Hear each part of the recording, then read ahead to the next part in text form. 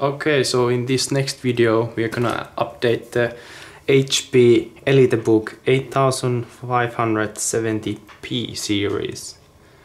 Hard drive to a SSD drive. And we're gonna use this Integral V series SSD solid state drive.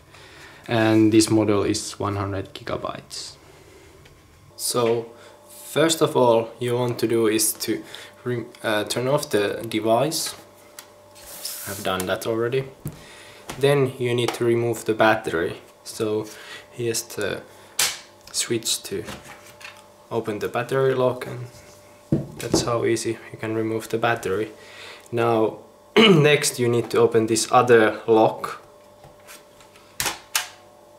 which also might include a uh, screw which you might need to open with a normal screw screwdriver. Next just take the back lid off and here you can see the normal hard drive of the device. So next you need to open these three screws. You notice that the screws don't um, come out from the place so there's this spring that keeps keeps it intact on the drive itself. So you can just open the screws a little so they pop out like this.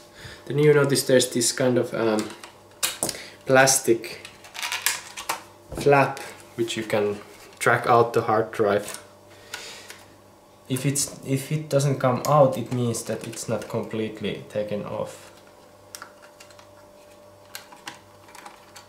The uh, screws are not open completely. So one of the sc screws might come out.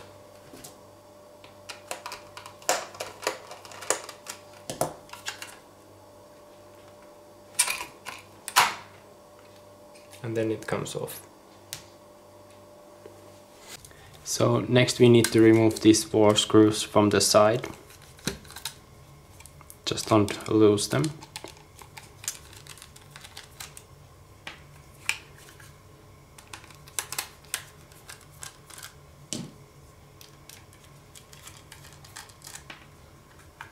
then the hard drive will pop out. So it's impossible to put wrong way this hard drive because the screw places are designed to be placed only correctly. So in this case we need to have this um, type up downwards like this and you can see the pins here which will connect to the laptop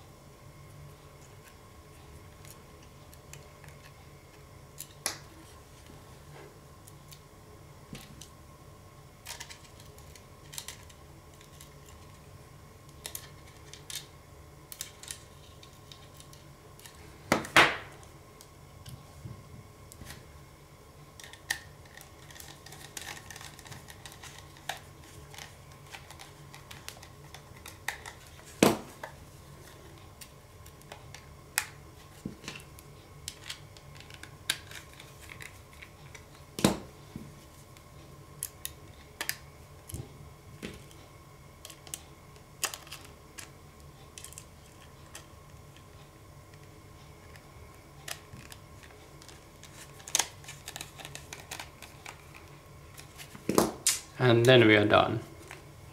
We need the laptop again, so just in the re reverse mode, you just put it back inside the tray, press and push forward the slot places, and then you can just put that back.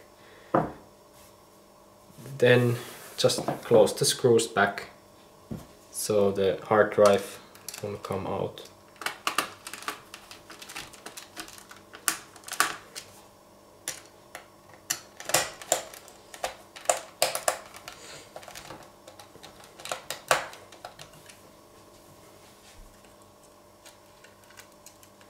Remember there's three sc screws for the hard drive tray.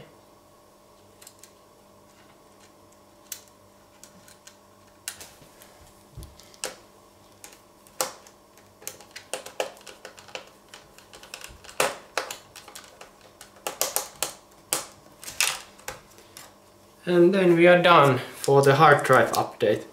This device uses DDRM3 which you can upgrade more than 32 gigabytes if you are using Windows 64-bit version but if you are using Windows 32-bit version you can only upgrade up to 16 gigabytes. It is very easy to upgrade more RAM, it just um, pop out the old RAM or just add more RAM to the empty slot near the RAM slot. There are only two RAM slots in this device.